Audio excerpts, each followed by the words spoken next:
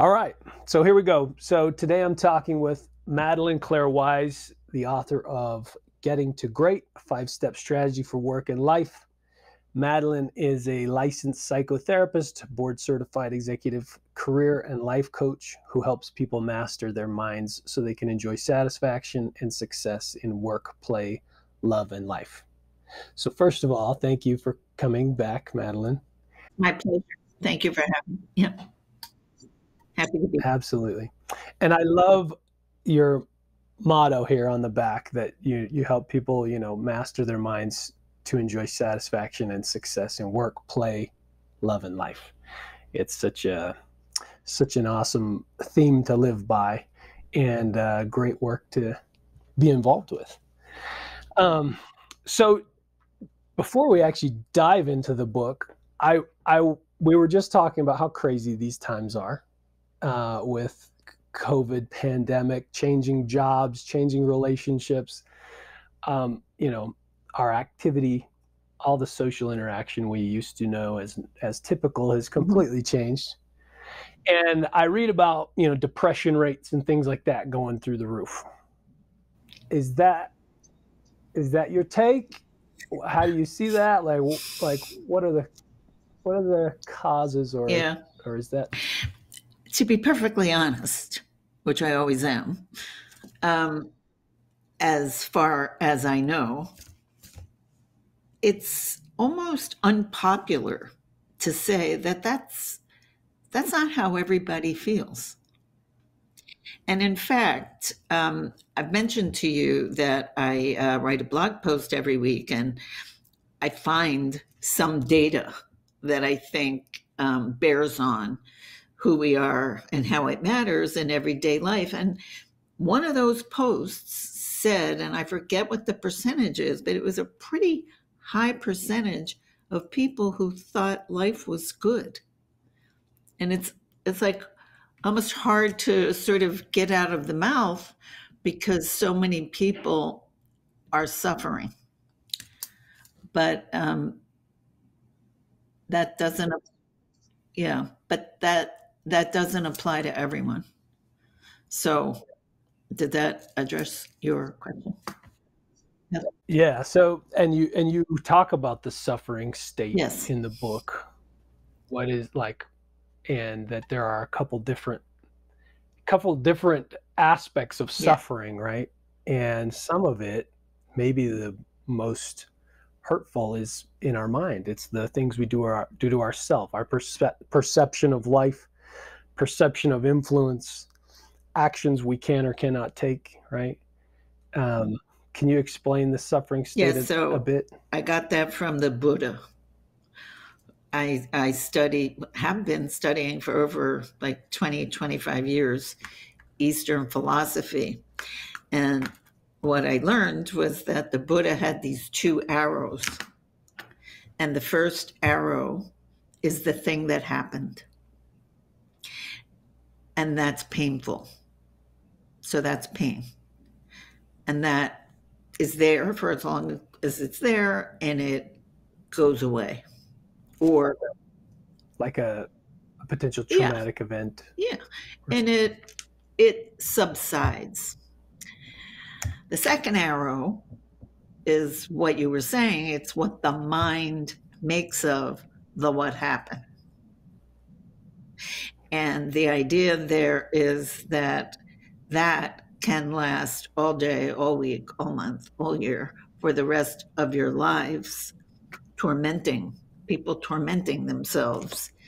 And that is suffering. And that we do all by ourselves. And there's a uh, neuroscientist, Robert Sapolsky, who says that, excuse me, humans are the only ones who can create that kind of suffering. So the title of his book is when zebras don't why zebras don't get ulcers and so like if it's time for lunch for a zebra the zebra gets its lunch and we're done it doesn't go oh, I shouldn't have eaten that. I'm going to be having a big dinner and I'm eating too much of that anyway. And I thought I was going to be cutting back on carbs. And now I just had this big sandwich. And zebras don't do that. So he, he says that humans do all this created suffering. And what it does is it keeps the cortisol level pretty high, which is very damaging to our internal organs and our mental states and their immune systems and all kinds of stuff like I actually have an episode that I did early on on cortisol and the effects of elevated cortisol in the body over time, right? It's supposed to spike in in moments of stress or anxiety and then go back to right. a normal level. Right. And if you maintain any sort of high level cortisol over a, a long period of time, it has all the opposite effects. It has health yeah, problems, everything. like all everything. kinds of problems associated with it, right?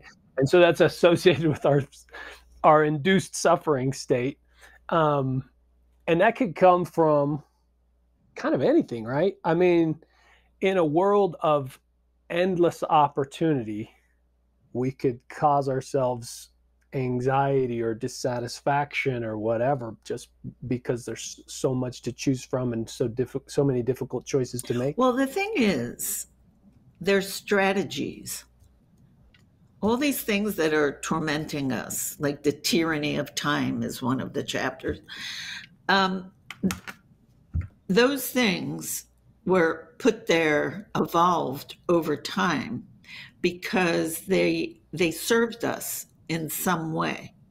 So, like time, the concept of time, which is, by the way, a figment and creation of the human imagination, but it was put there to bring order to things, to be able to keep track of the seasons so you know when to plant and you know when to harvest and all kinds of good things like that. It was never supposed to be in charge of us. We were always supposed to be in charge of it. Same thing with money.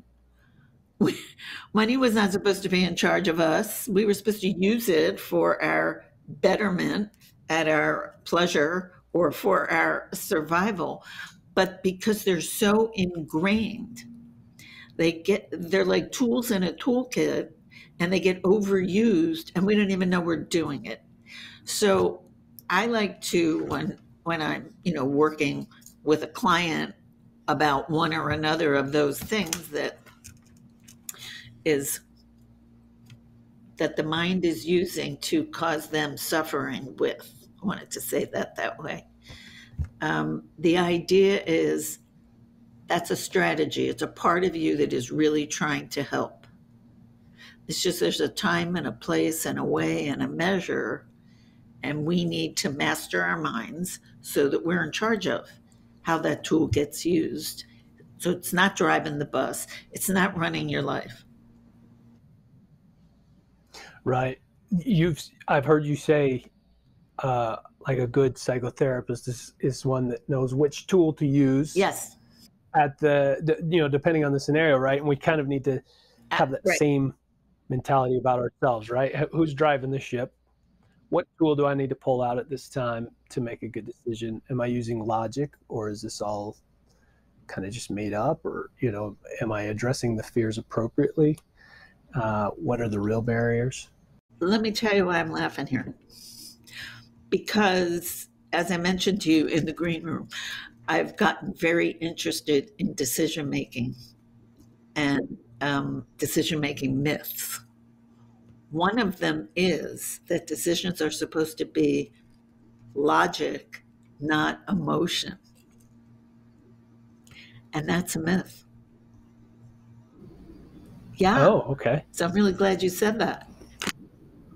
Yes. yeah, because a lot of this. people think that. So there's this Psych 101 example of the guy who, uh, what, what's his name? Um, Phineas, Phineas Gage I think he fell on a train track and got a spike in his head somewhere in the frontal lobe, and it knocked out his emotion center. And they said he seemed perfectly normal and logical, but his judgment was kaput. And then there's another study I read where there was this doctor. I may have mentioned this to you before when we chatted. There's this doctor who had the same injury. He couldn't get dressed in the morning because he couldn't figure out what pants to put on because he had no preferences.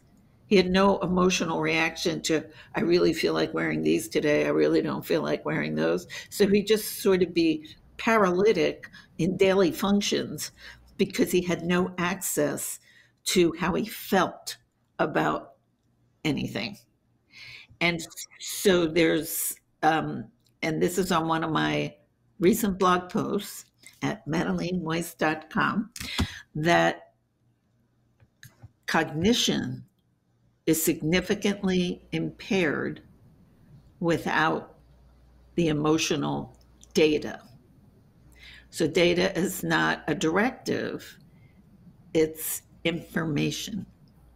So, here's the hand model of the brain. Did we do that last time we chatted? Oh, this is so. good. Okay. This is the emotional center in here.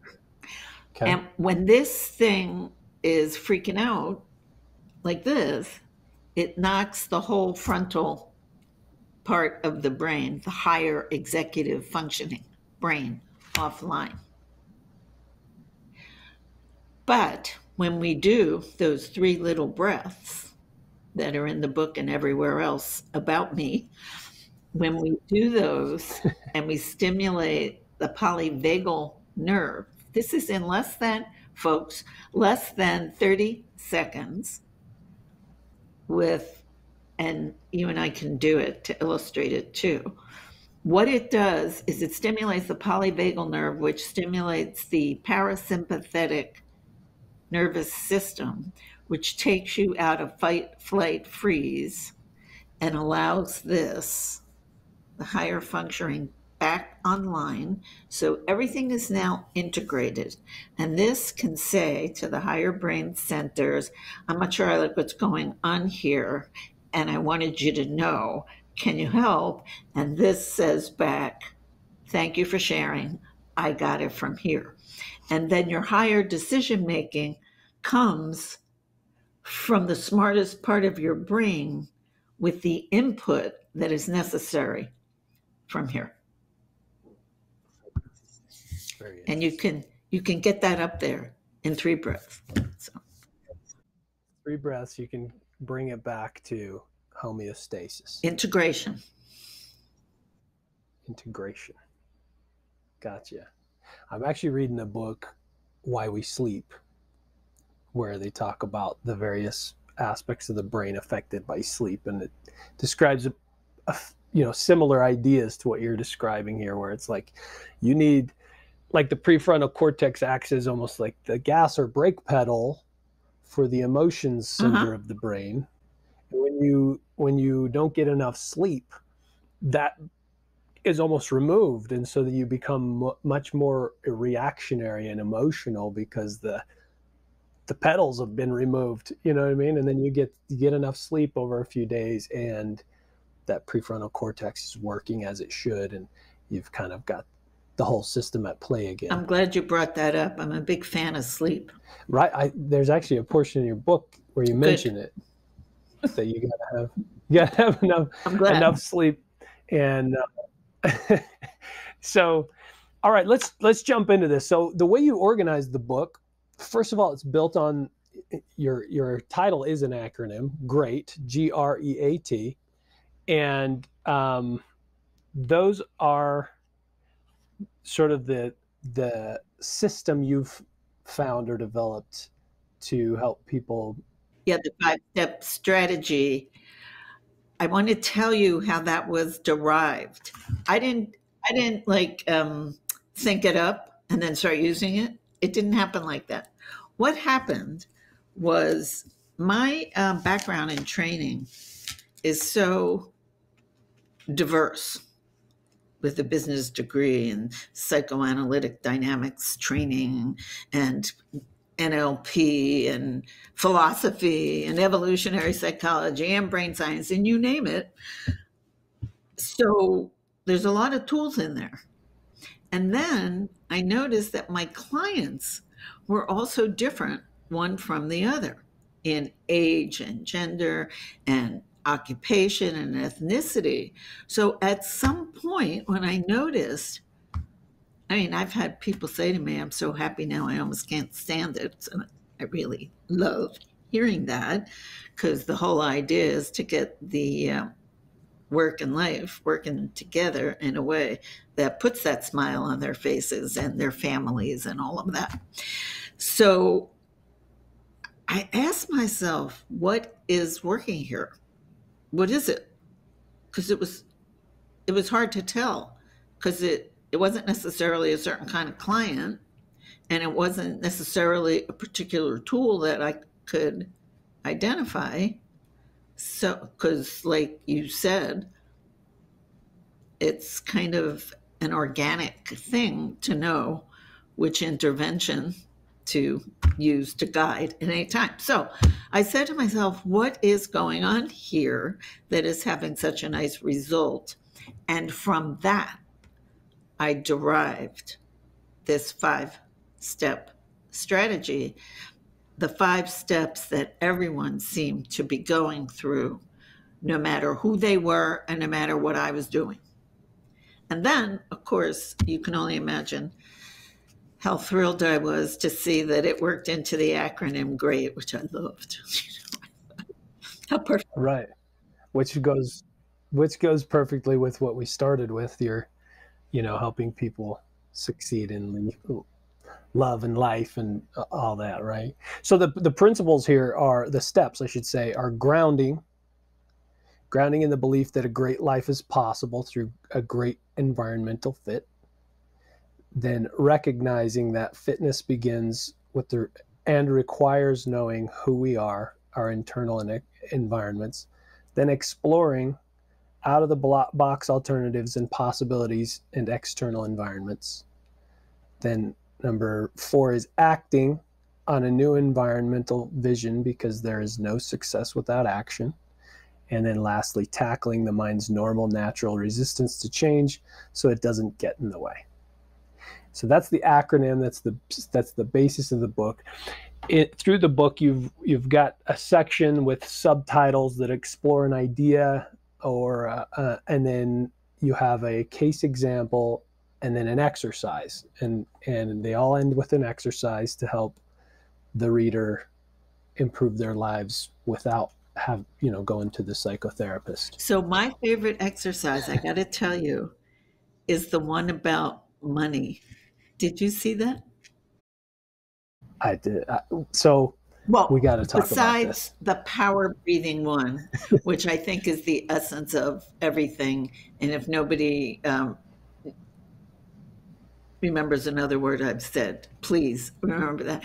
Those those three little breaths are life changing. But there's this other exercise at the end of the chapter on money, which is like amazing. So let's get let's go to the money part because I I absolutely loved it. So first of all, one of the quotes that you start with says, "The real measure of your wealth is how much you'd be worth if you lost all your money." Right? So first of all, money is a key piece of our lives, but there are so many versions of success and wealth and satisfaction and all this, right? And so um, so you could twist that quote in so many directions to say like what is real wealth? What would you be worth if you lost all your money right? I actually posted that on instagram when i read it. Oh. um, so the next piece that that i loved and shared with my wife was um, let's see let me read it. A psychotherapist and money relationships author Olivia Mellan suggested imagining that your money and you are being interviewed on Oprah about your relationship. now, so many people have a really hard time with their money relationship, right? So people call it money blueprint or or their money management. Shame on them. And they don't even know it. it. Right? Some probably are just like completely oblivious to it. Others are absolutely afraid of it. Yeah, but they don't. Right I don't think a lot of people, which is why I love this exercise, I don't think a lot of people think of it as that it's a separate entity and they're having a relationship with it. They just know that maybe they're upset about it or they're happy about it, but I don't think they think of it that way. And when I did that, I did that exercise years ago. I really think I really think it profoundly changed my life. Maybe I'm making too much out of it, but that's what I think. I don't think you are. I I have uh, been obsessed oddly with finance for a long time. I think I mentioned to you last time that I I would ask for stock for Christmas when I was a teenager. I'm impressed. Um, so I've always loved to study finance. However, I, I I've passed up on really high paying jobs and opportunities just because my main priority was like family and freedom. Okay. Uh, so when I did this exercise, I actually felt pretty solid about my relationship with money. Uh, would you? Um, would it be too personal for you to share what your money said to you? Uh, I'd have to go back through it and, and, and rewrite it down or whatever. But um, you don't have to. But I thought it would be fun if it's okay, and you could. I can tell you mine. okay, let's hear. It. Let's start with yours. Let's hear it. My money said on the talk show, the Jerry Springer show or whatever, or Oprah. Or, we'll go with Oprah. My money, or Dr. Phil, my money said, You do not enjoy me. You ignore me. you just let me sit there. You don't ever do anything with me. And it really hurts my feelings because I'm here for you. Interesting. And that, I think, has been a theme. And something happened where over the years, I, I think because of that, it's true. It was sitting there, and I was like, not like this. So I'm not going to feel any abundance like that because I'm ignoring the whole thing. So right. I was living, you know, they talk about scarcity mode and the abundance mode and all of that. I think I really was living more in scarcity than made sense given the amounts. And over the years, somehow, and I, I know this sounds like a little woo woo, I think that the amounts have actually increased because of the mind shift. Now, everybody talks about that. They talk about mindset and that it has to begin there. And I think I might be an example because because it has changed and it still is. It's like getting better and better. Yeah. In my observation, I think that's um, that's pretty common. And then there's the other kind of extreme where people are um, they just th- think it grows on trees and they spend it all and they're constantly in a yeah a hole and you know both of them cause kind of a wedge a bit of a so what do you think the money would say on, on the dr phil show to them? To to them or to me? Well to them for the people who spend it you know. That you don't respect me. Ah there you go good. Or you you know you don't use my skills. You don't utilize me in the way i was meant to be used. Um you you waste me or abuse you know, abuse yeah. Yeah so uh, so i think there's a balance for this whole relationship or utilization of money right? It's like it's there for your of course basic needs. Um it's also how it started. Right. Yeah, it's it's an IOU. It's it's a piece of paper that says I'm you know I'm a piece of gold and you can use me for to buy something from the blacksmith or some food or, or chicken. Yeah, chicken. but you, you need to use your money uh, for positive growth, but it's also there for enjoyment, play, satisfaction. Well, right? it was supposed to be, if you go back to early times of humanity, it was supposed to be a means to an end. You know, bartering, and then it all got too complicated, and they started doing hash marks on, you know, a piece of stone, and then it became beads or whatever it was. But it was it was for a purpose. It it wasn't for its own sake. And I think that's where we got a little screwy about money. Yeah, now money runs the conversation. If you say the word success, mm. it's money. It's money, right? But that's not real success. I mean, it's an aspect, but it's not. Did you see the the Warren Beatty quote in there? I think I might have put it. I'm not sure. You'll have to remind me. I'm sure I read it, but I don't know. It's a great quote. It is you know that you're successful when you when you can't tell whether you're working or playing. Uh, yes. And I love that. And of course, sometimes the work that I do can be, you know, sad, but it still has that quality of privilege and pleasure to be on the journey with people and if you think of uh, work as like hard labor, it never feels like that to me. It yeah. always feels like a privilege and a pleasure. So you, you found you found an activity or human interaction that fulfills you. That you're serving others and being served together. I feel like yes indeed. I feel thank you for saying that. I feel like I have what so many people come to me looking for for themselves.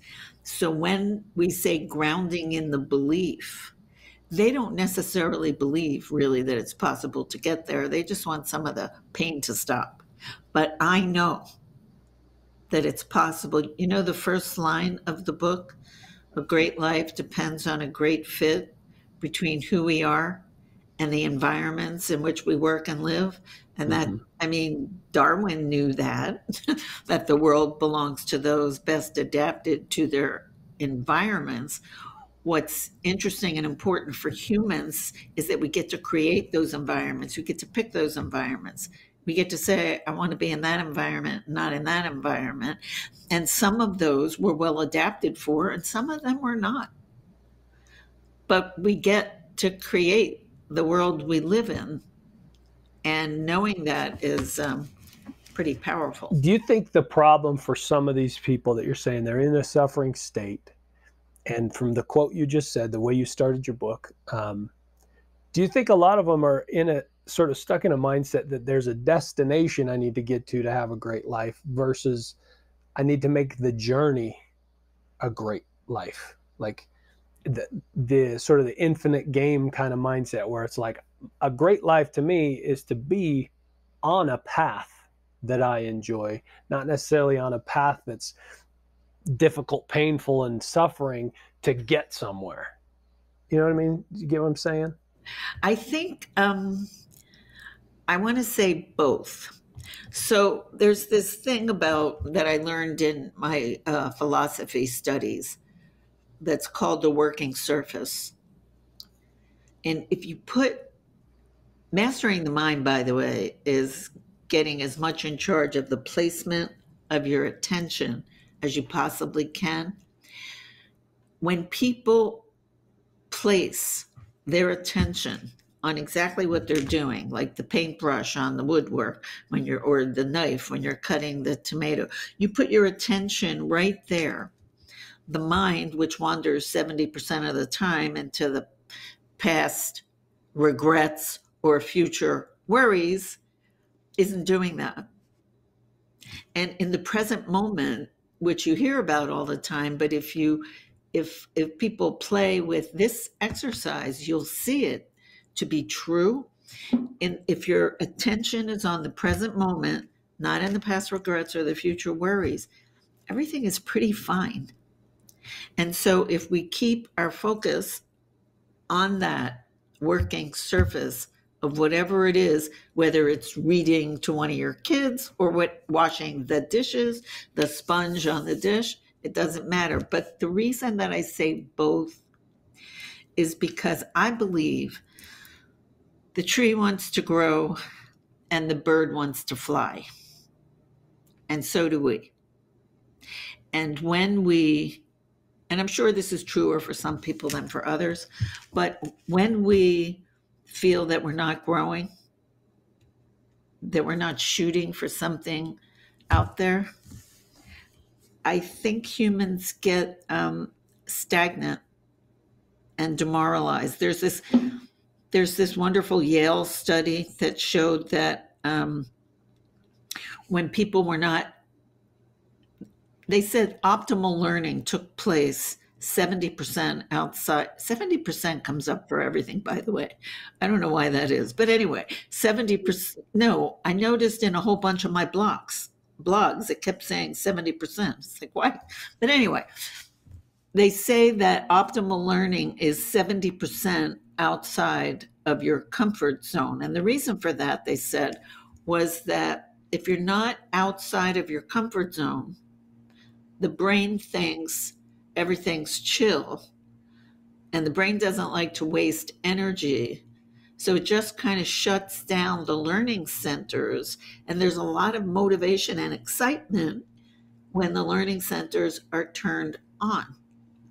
So if somebody's not learning anything and they're not growing and there's no novelty, it's kind of blah in there. And then then what happens, what I've seen, what I found is that people start blaming it on the spouse or blaming it on the job and then they make things worse than they really are.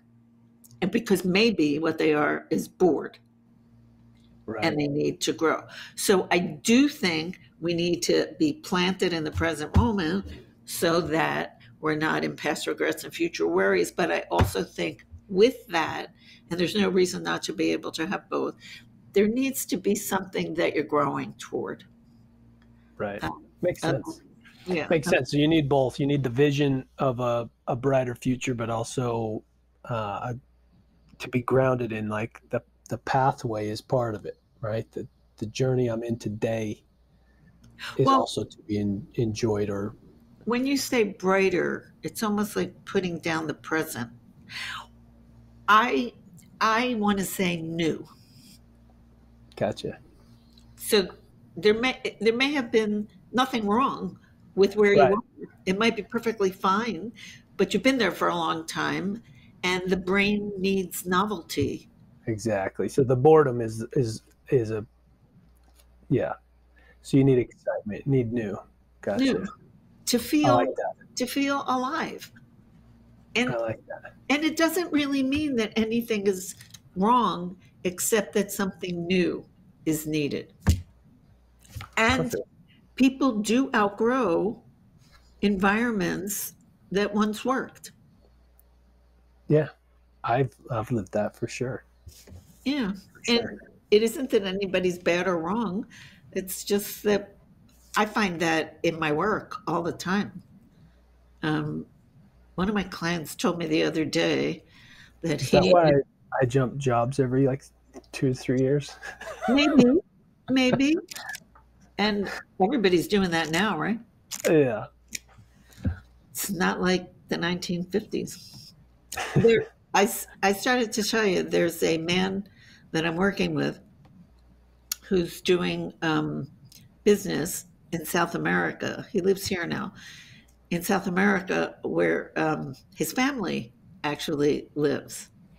And one of the things that's really fun in my work is that we're sort of grinding away at whatever the mental model is that's in the way in general and then often they'll say, Oh, by the way, I'm sleeping and I didn't even know that I wasn't. Or, Oh, by the way, we're all moving to South America. It isn't anything that we worked on, but it was, it's just this eruption of some fantastic new thing that is happening. So he said he actually it was it was very dear because he said something like, you know, you really do transform lives. And he and his wife, who were kind of drifting a little bit, um, are very excited and decided together. And now they have this new project where they're moving the whole family, and it's like a really thrilling new new thing. Right. A new vision, a new experience, a new goal, a new challenge. And they're sharing it. Yeah. So, like everything's connected, which is why I say work, play, love, and life, because everything's connected to everything else. And if you're really um, feeling um, dissatisfied in one area of your life, it's kind of hard for that not to get on everything. So, right. Um, you reminded me of a section of the book. I'm trying to find it now. Um, too many things. Oh well. Well, we'll move on to another one. But I think that is that is really a great way to put it. That we're looking for something new, even if the past was great. We've we've kind of outgrown it, and we want yeah. something. Um, so I wanted to get your thoughts on on this piece, um, where you said that Joseph Grenny's study of a thousand managers found that 97% had at least one career limiting habit. Mm. And then even when they knew about it, they kind of clung to it. They like it's almost like we wanted to they wanted to keep their defect, their imperfection or whatever. And I know that's an interesting concept to a lot of people, even though we all kind of fall into that category to a degree. Right. And and it made me wonder like why do people cling to uh, like familiarity over health? Because it has worked to some extent and it becomes a part of their identity. It's who they are. Um, there was somebody a colleague, he wasn't a client of mine, yesterday who was explaining to me, and this is a career limiting belief if there ever was one. And by the way, this is common. He was explaining that because of COVID, um, and he he couldn't be with people in person, and therefore his business was suffering. And I said, May I tell you a little story? And he said, Of course. I said, Okay. I was on one of these networking calls. There were two people who were in the exact same line of work. And one of them said that, you know, this is an in person business and it has to be like face to face in the same room. And he was so depressed and was making no money and just was like hanging his head. It was the saddest thing. And then this other guy said, That's funny. I just had the best year I ever had. This guy's on the phone all day long saying hi to all these people who were sitting around trying to figure out whether the world was coming to an end. And he just got on there and schmoozed with them and made a killing and they do the exact same thing. So when you talk about a career limiting belief, when I said that to the guy yesterday, I felt like exactly what you just said. Like that it was taking something fundamental away from him to dispel that myth.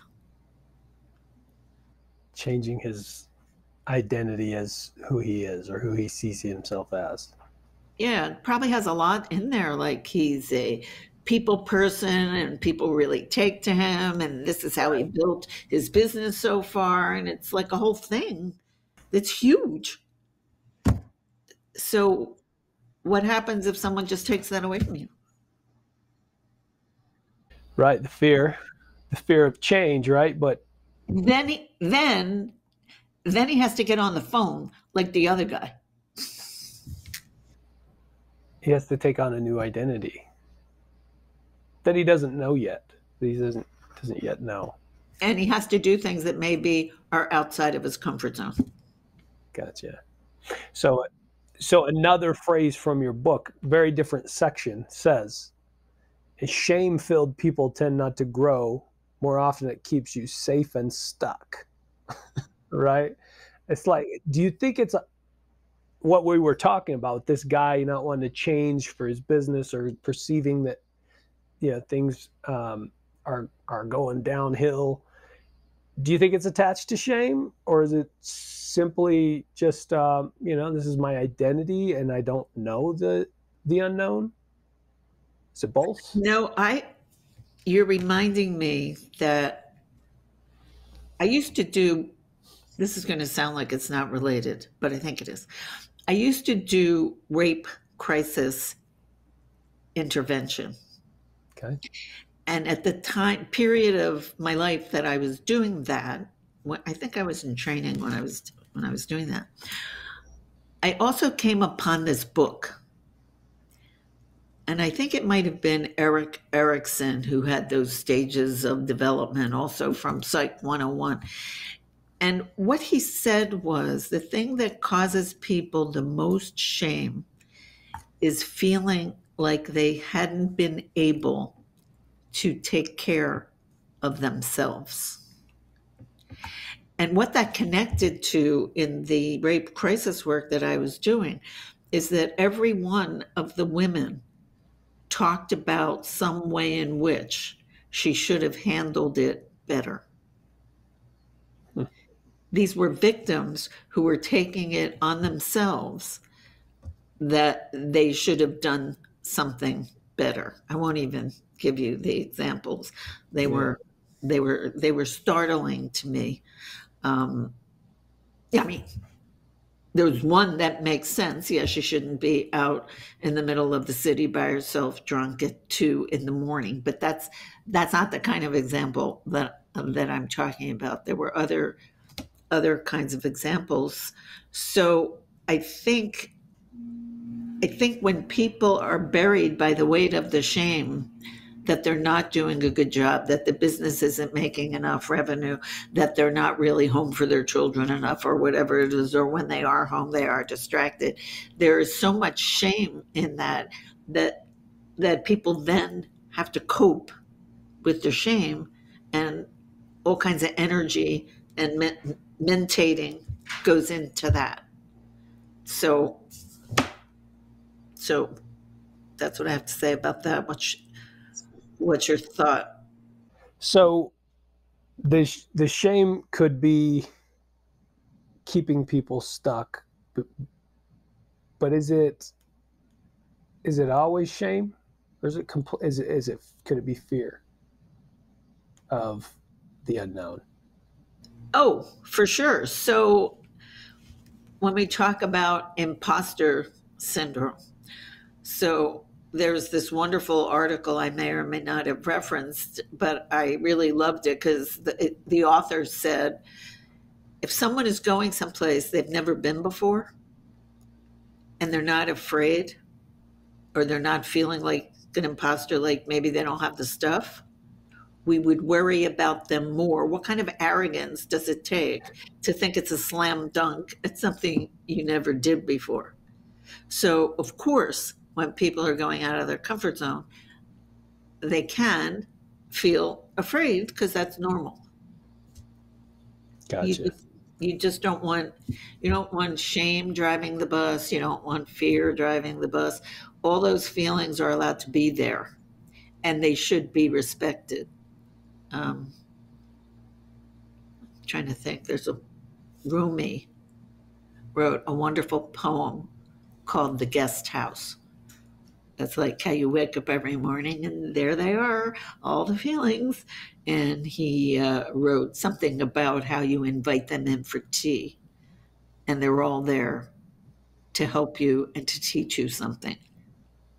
But I'm saying, and people like me say, they just can't drive the bus. That's all. gotcha. Recognize them, acknowledge them. Yeah. And then yeah. and then make your make they, They are precious parts of us. We wouldn't be here to talk about them without them. Right. They are integral and precious parts of us. and they, um, I think, are to be, I want to say, loved. But just like your kids, they're not they're not running the house, Right. you know. So At least hopefully. Yeah. Somebody told me when I first started studying philosophy, one of the tutors said that the mind is like a two year old who's winning. nice. Yeah. A two year old that's winning. Sometimes they win. Oh. Right. I got four kids. I don't know if I don't know if you knew that I had the entire circus. I somehow, for some reason, thought you had two. I didn't know you had four. Holy moly. Four. Yeah, I'm just running myself ragged. no, they're adorable though. Um, okay, so this next section I want to jump to it's it's under the controlling your mouth, I believe is the title of the the chapter. Uh, many subtitles under that, but I'll read this this one partial paragraph. It says I happen to think that talking is altogether overrated as a cure-all for everything that ails us within within and between us. For example, talking over and over again about one's trauma at some point only strength, strengthens the neural connections associated with trauma, keeping the trauma alive and firing over and over again rather than easing the strength of it for us. So, um, this came on the back of you talking about, you know, some some therapists. There's many strategies, I guess, but like you know, sometimes it's like let's talk about something. Some people say like ignore it, act like it didn't exist, and just try and build new a new life, a new belief, whatever, right? And and you're you're maybe somewhere in between. I am. Right. Yes. I wouldn't, as we were saying about feelings, we don't we don't diss them. We honor them. But I like to think about it as a garden, like the brain as a garden. I even have a post on that.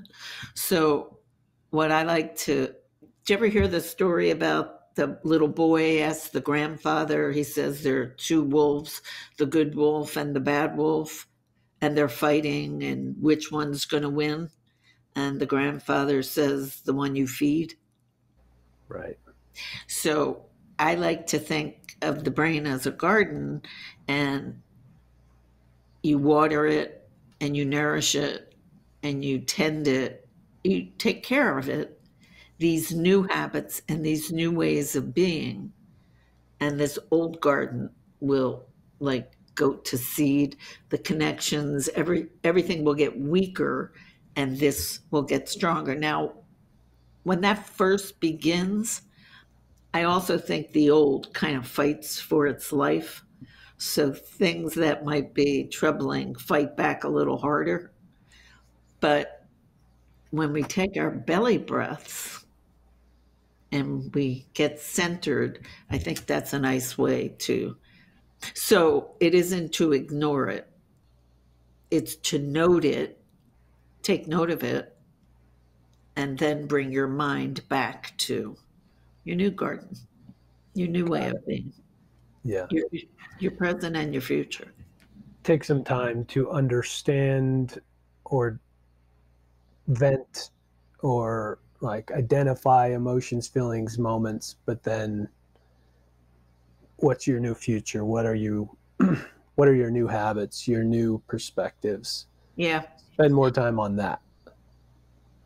Yeah, just keep taking the mind and putting it over there. I've even said to people about the old stuff that seems to plague them. I've even said to them, How many minutes a day would you like to spend on that? And then one um, experiment or exercise is to actually come up with, okay, a half an hour a day.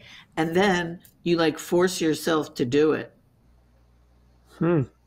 and then you don't really want to. That's a that's It's a like- very creative. it's like a power struggle going on between you and your intrusive thoughts.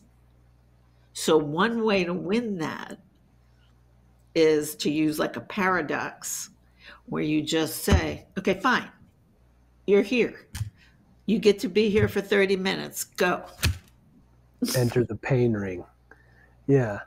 And then I think more often than not, it would all start to seem kind of silly. Yeah. And I love I love that idea. That's a very interesting concept to, to say, yeah, we're going to enter the pain ring for 30 minutes and after a few days you're just going, this is miserable. I would rather live the other life. also, I think I think it would get to this is stupid. Yeah. It's not helpful. Yeah. It's it's a waste of my time. It's a waste of my energy. It's putting me in in a bad state. Like I'd rather focus on the the new opportunities, the things I'm excited about in life. Very cool. So so one one thing that you talk about in pretty great detail is good company. Yeah. we spoke about this last time, but but now that I've read the way you put it, uh, in one particular phrase that I wanted to read says, "And now you know why I say work-life quality instead of work-life balance." Which is a word that we hear all the time work life balance, work life balance. But you say that balance sounds too much like it implies equal allocation of times for this, this part of life and that, which is which I do not believe is the best way to nourish one's being. It's like work life quality. How do you improve quality through good company? Mm. I repeat the first line of the book. Great life depends on a great fit between who we are and the environment in which we work and live. So we have um, a lot of freedom, more than we think, to pick and choose. Like you can't pick and choose your parents necessarily, but but the rest, I don't think, you know, people are making 35,000 decisions a day that they don't even know about. And those decisions pertain to a lot of them who does and does not get into our life. Those and good company, as we, I think, were saying before, is not just about the people. It's very much about the people, but it's not just about the people. It's the food we decide to eat, the music we decide to listen to, the books we decide to read. And here's here's the best. The thoughts we decide to entertain in our head. Yeah, you took the words out of my mouth. I was going to tie that last thought to that. It's like, how much time are you going to spend with the brighter brighter things in your brain, right? The the thoughts that we have about the good things in life, the entertainment we provide to ourselves and to others and yeah and partake of. By the way, when I just want to say when the uh, not so bright thoughts come, I do not recommend um, again dismissing them. I have a question that I like. The question is this is there something to be done here? Okay, I feel like dog do about whatever it is. Is there something to be done here? And sometimes there is, but not today. Or sometimes there is, but not by you. Or sometimes there is, but you already did it. And sometimes there isn't. And then you just take your breaths and hope it to, to pass. But I don't just dismiss. I, I don't think, I think negative thoughts are helpful too. It's not just that we respect them because they deserve to be there. They're helpful. They are data. They're Is it the, the nature of the thought? So like if it's if it's something reoccurring that I did something wrong to somebody else and it's just it's just tormenting me is there something to be done? Well, yes, maybe there is. I can go perfect take action, right? If there was just if I'm just beating myself up about something that seems completely irrational and and just this shame just overwhelms me and whatever it's like why do i entertain this thought it's sort of a a made up falsehood about myself um, maybe I'm just creating more pain for no reason. I don't know if that was a good example, but um, well, it is. It is. Okay, so sometimes people shame themselves to get in there before someone else does. Sometimes people shame themselves to keep themselves safe, like you're not you're not really good enough for that, and then it keeps you from going out of your comfort zone. So that's why that question is so important. Like, is there something to be done here? And sometimes there is, and sometimes there isn't. But if you pause and take your three breaths, kick it upstairs to your higher brain, and have your higher brain figure out is there something to be done here, or did you already do it, or is there nothing to be done? And then I just read a study the other day about people feel good when they know that they put the right amount of attention on a decision or a problem. And that question, I think, really gives you that pause and focus to pay the right attention. Is there something to be done here? And there is, or there isn't. And right. then you're done. And then you take the action step that's next. And sometimes the action step is just to breathe and let it go like a cloud in the sky or a leaf floating down the river. Right. That's nice. Well said. Um, okay, c- couple more things and we'll we'll shut this down. So, um, you discuss how people change, and you actually go to other a couple of other um, therapists' writings to discuss this, and that people just change.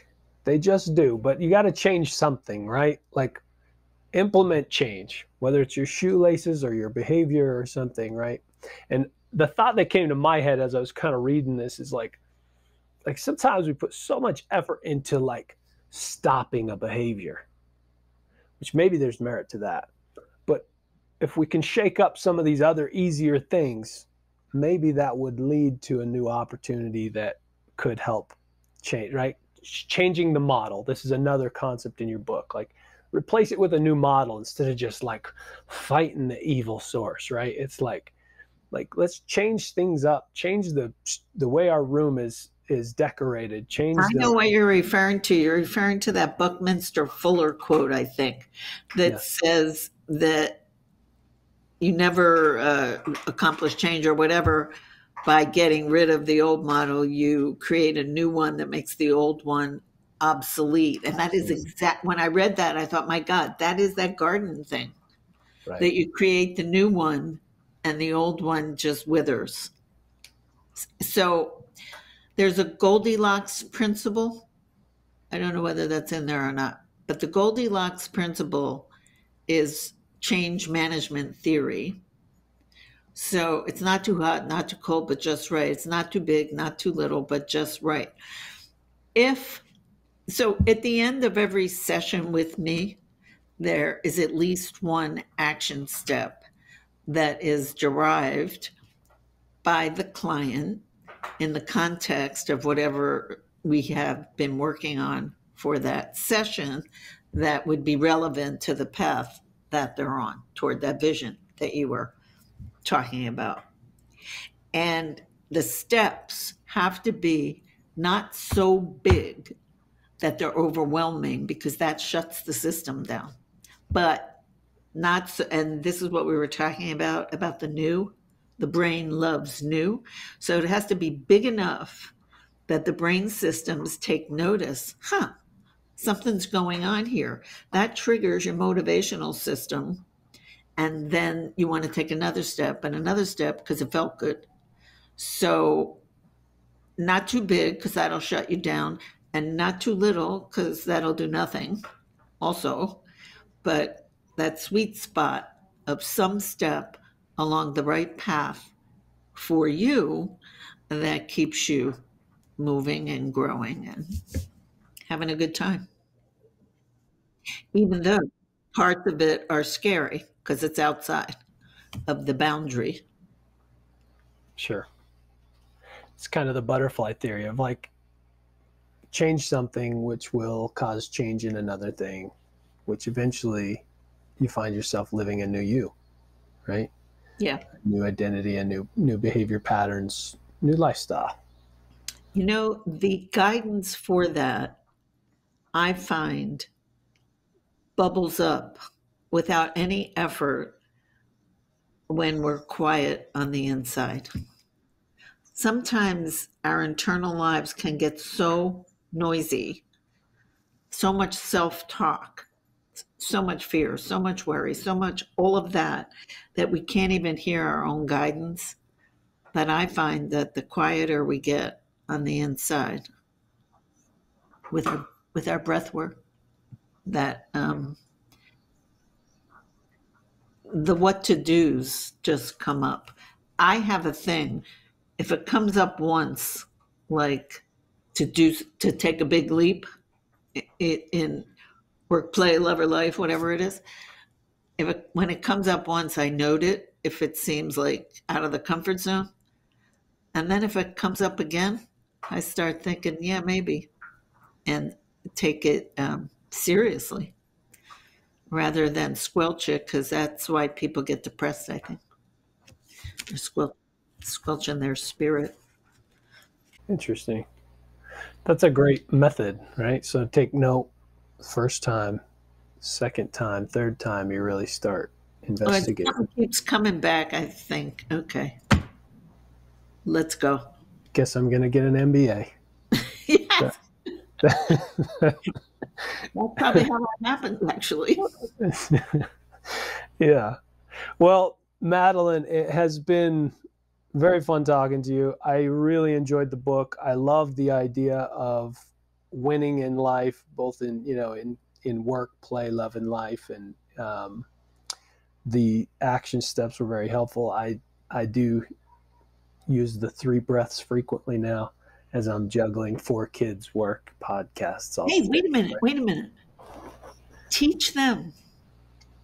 I I do. My daughter and I read self-help books at night and we always we always do the strategies we learn so one book the other day uh, mentioned having a taking time to do a gratitude list list 12, 12 things you're grateful for every day right 12 so, 12 oh my god yeah. i've always heard it as three that's a lot 12 but it's nice we go back and forth we each do six and then oh. um, so cute. And then we do the the uh, the breathing uh, and and some meditation and stuff. So it's it's great. I don't know whether you all have a chance to. Uh, I don't know if people have a time and a way and a place to sit at a dinner table together, but if you do, my family used to really have a good time with doing our breaths before we actually started to eat Mm. And the fact the fact that we did it well just made us laugh because we couldn't believe that we were doing it. And it really it really just it really just um, lightened and lifted and brightened everything. So yeah. I highly recommend that. I love that idea. I'll think we'll we'll try it because it seems like the first of dinner is chaos, and then eventually we get there, right? But maybe this would this would help no, us. No, it's a really it's a really nice way to start it. Just and then after the breath, everybody smiles. So it's three breaths and a smile. Got it. We'll so do that tonight. I I think you're gonna like it. Great. So the book is getting to great. Uh, you can buy it on Amazon or uh, anywhere books are sold. Yes, you can. And there's the um, compatible online course. And if if people go to my website at madelaineweiss.com, everything is on there. My social links are there, and there's a thing to click for the book and a thing to click for the online course. And I would love to hear from anybody who would like to chat with me about any of this or something else in their lives. So, and then they can sign up for your email list there where you do regular emails and your blog posts. Yes. And then uh, sign up for that online course. There's also there's also free exercises there in a box that says something like complimentary mind management exercises. It's about halfway down. So there's a pull down. The, the exercise that I'm saying, if you do nothing else, do this, is called power breathing. Power breathing. And it's and it's just a simple one sheet on how to do it. So Cool. And I'll put the link to purchase this book from Amazon in the show notes so that anyone that's listening can grab it there. So, Madelaine, thank you again. Appreciate it. always fun to see you and thank you for having me.